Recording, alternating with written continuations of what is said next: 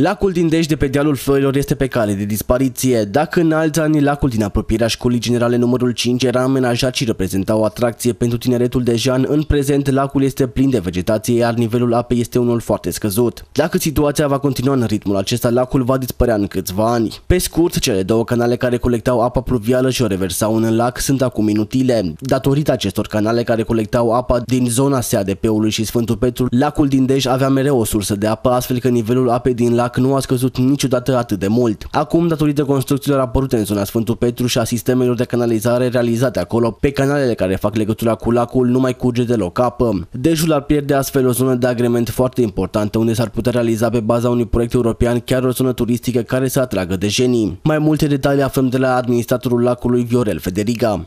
Lacul este, după cum am văzut și după cum se vede în ultimul an, plin de vegetație. Aceasta se datorează la mai mulți factori, mai multe elemente sau la baza lipsei de apă. În special se datorează faptului că avem două canalizări, două tuburi de, care canalizau apa pluvială, o canaliza în lac. Una care venea de pe dealul Sfântul Petru și cealaltă care uh, trece prin curtea SADP-ului.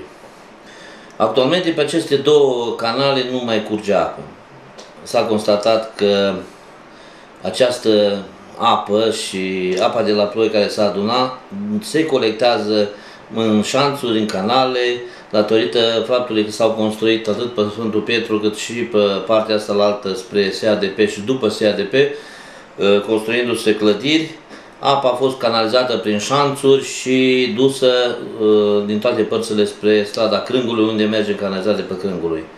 Ă, după cum dacă o să vreți să vedeți, pe aceste două canale principale, canale de 100-110 diametru, nu mai curge niciun pic de apă.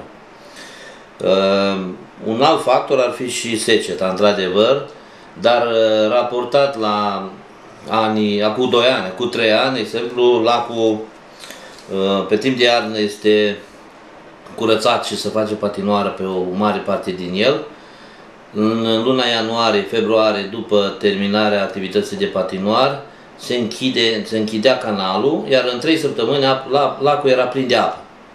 Ei, vă dați seama că din luna februarie anul 2012, de-abia avem 60-70 cm de apă în lac. Deci, de fapt, nu mai intră apă în lac. E o problemă care, ă, dacă până acum, în ultimii 2 ani de zile, s-a amplificat așa tare, Părerea mea este că anul viitor și peste 2 ani va fi tot mai puțină apă în lac.